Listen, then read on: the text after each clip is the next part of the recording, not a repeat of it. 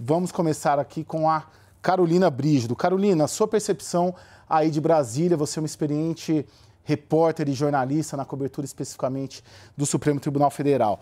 Na sua visão, o Supremo Tribunal Federal ganhou muito poder e não quer perdê-lo? Ou o Congresso Nacional, que perdeu muito poder e quer retomá-lo? Um pouco dos dois, né, Caio? Boa noite para você, boa noite a todos que estão nos acompanhando hoje. Bom, essa crise institucional, essa espécie de queda de braço entre o legislativo e o judiciário, e também muitas vezes com a presença do executivo nessa tensão, isso não é novidade no Brasil. É uma coisa meio cíclica que a gente tem visto na democracia brasileira.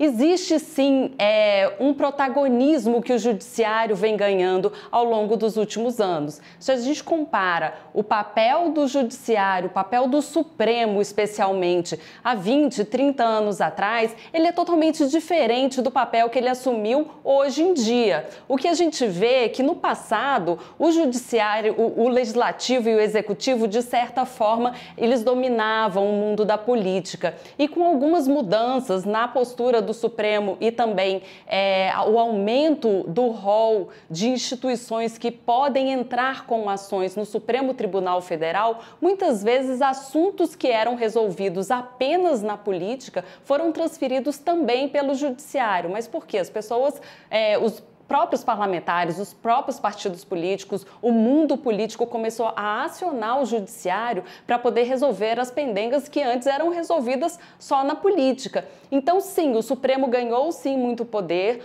o Congresso, por muitas vezes, tenta frear esse poder do judiciário, mas tenta frear de uma forma que eu considero equivocada. Se a gente olha, por exemplo, a questão do marco temporal, o judiciário tinha uma ação ali para julgar desde 2016 e, de certa forma, esse julgamento foi sendo adiado para que os, os ministros, muitos deles, eles achavam que isso tinha que ser decidido pelo Congresso e o Congresso não conseguia decidir e acabou que ficou tudo com o judiciário e agora o Congresso vem fazendo como se fosse uma revanche, né? Porque rediscutir o papel do judiciário no meio de uma crise parece muito mais um oportunismo do que um debate legítimo para a democracia, Caio.